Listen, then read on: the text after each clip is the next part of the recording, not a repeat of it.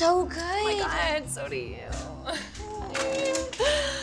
Where's your uh, new boyfriend? Oh, oh, oh, he's outside. Come on in. Come on. Yay.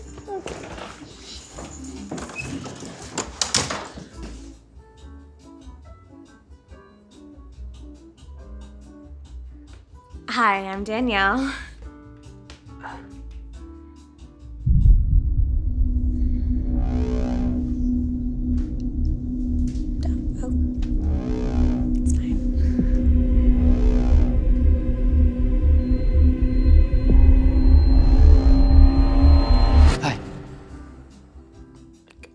Can I use your restroom? Yeah, it's just that door over there.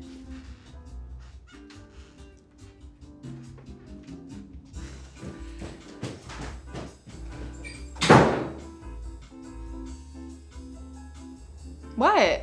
We know you well enough to know if you're dating a guy that weird, he's either super talented or filthy rich.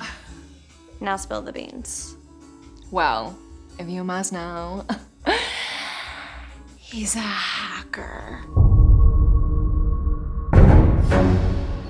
What do you mean, hacker? Oh, okay. ow, Danielle. like with computers, he can pretty much do whatever he wants. You've been dating a super hacker for three months. You stupid bitch. What? Taylor! Uh. That guy already knows every intimate detail about all of our lives! Oh my god, no, he doesn't. Of course he does. It's all out there. He sees them posts, them pics. He in my Facebook, my email. He in my cloud. He's in the fucking cloud. He does not care about that stuff. He just likes rebelling against society. Hey! Look at this pasty cave dwelling ass. Guarantee when he's not with you, he's somewhere hacking. Late at night, he's somewhere hacking. With his grandma, hacking. Right now in the bathroom, hacking off. Oh my god, you are being paranoid. what is the big deal anyway? Bitch, I got skeletons. Okay? Closet open up, bones fall out. Bones. Bones, bitch. Are we still having dinner? Hey, Maybe uh, I should go. I don't think that's such a good idea. Yeah, we were just getting to know so much about you. Did you tell them I was a hacker? she did.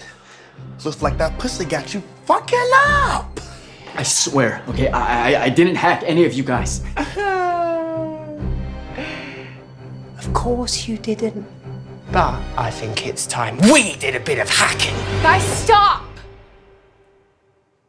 Maybe this is good. I mean, we're all best friends, and if we have stuff buried deep down inside of us, maybe the healthiest thing to do is to let it out with the people we trust most.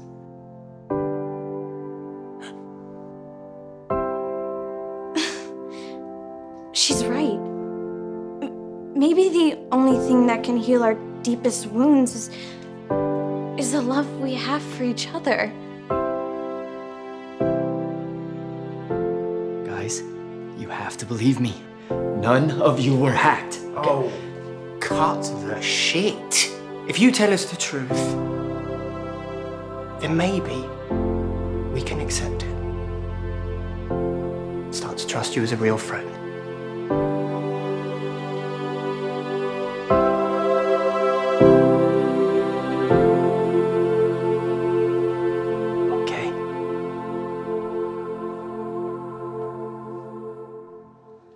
I used a reverse shell two-stage exploit package to control Taylor's ISP address, then applied a phishing algorithm to access all of your accounts. Chase is the first one I hacked since I saw he used to be in a relationship with Taylor. All in all, he's a good guy, but what stood out were his medical records. He has a rare form of severe genital eczema that he refers to as ashy scrotal syndrome. When dipping his sack in a tray of gold bond like a chicken cutlet wasn't enough, he had the doctors make him a custom velvet pouch for his balls to avoid irritation. Hacking Danielle was a different story. She's been seeing a therapist twice a month since she was 10. Except, she was too afraid to talk to a stranger at such a young age, so she's been confronting her issues with a sock puppet named Mr. Socko for the last 18 years.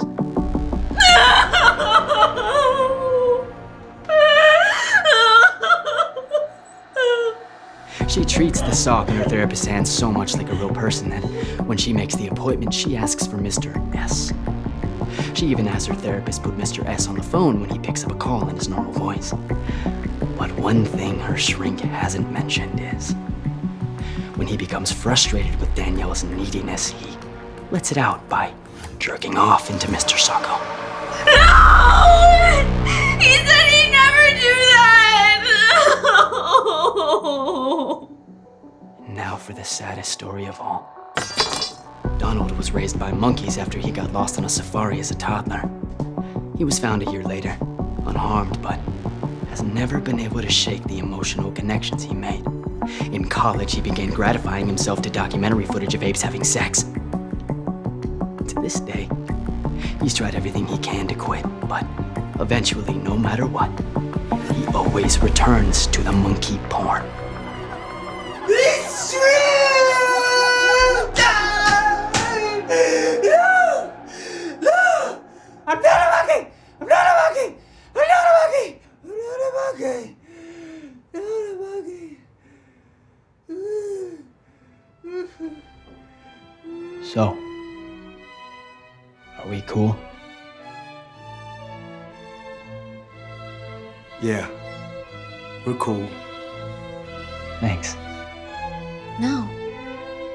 Thank you. Hey, do you want to see pics of Taylor before her nose job?